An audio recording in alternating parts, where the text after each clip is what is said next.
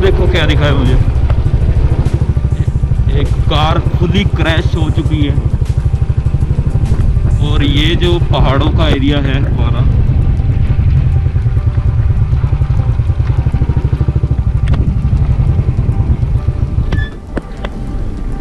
इसका नंबर हरियाणा का है।